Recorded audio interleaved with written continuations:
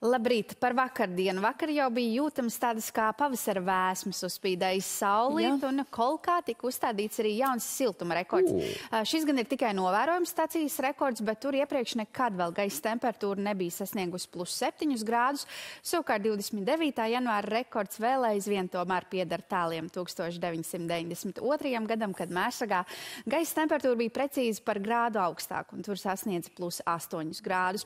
Bet kamēr mēs aizvadījām tādu tādu pavasarīgi jauku dienu, tikmēr jau Skandināvijā laikapstākļus krietni dinamiskāk padara ciklonu darbību. Tur vairāk zibens izlaides vakar novērotas un arī vēja brāzmas Norvēģijas piekrastē sasniedza pat 40 līdz 52 metrus sekundē. Un arī turpmākajās dienās laikapstākļi tur būs vējaini, nokrišņiem bagāti un noteikti, ka ziņās vēl arī tuvākajās dienās par to parunāsim. Bet plašāk par to, kas tad gaidāms pie mums.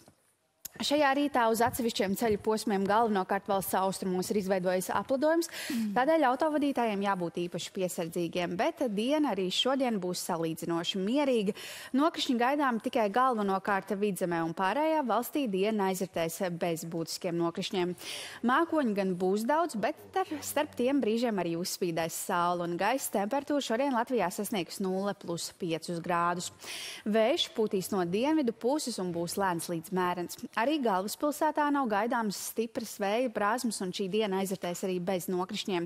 Starp mākoņiem ik pa laikam uzspīdēs saule, un termometra stabiņš šodien dienā sasniegs plus 2, plus 3 grādus, bet uz vakara pusi, protams, kļūs nedaudz vēsāks. Vēl par turpmākajām dienām. Gaisa temperatūra trešdienas naktī pazemināsies līdz mīnus 3 grādiem Latvijas austrumos, savukārt vissiltākā nakts aizritēs piekrastes reģionos. Tur temperatūra būs ap plus 3 grādiem.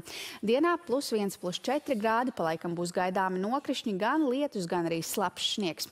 Savukārt ceturtdien Latvijā nu jau vējš kļūs spēcīgāks, piekrastē vēja brāzmas sasniegs pat 20-22 metrus sekundē, tāpat arī nokrišņu būs vairāk. Naktī un dienā temperatūra temperatūra būs diezgan līdzīga, mīnus 1, plus 3 grādi, bet valsts rietumos gaisa iesils dienā pat līdz plus 5 grādiem. Un šobrīd prognozes liecina, ka sestdiena varētu būt nedēļas siltākā diena, jo tad vietām termometrs stabiņš varētu sasniegt pat plus 8, plus 9 grādu atzīmi.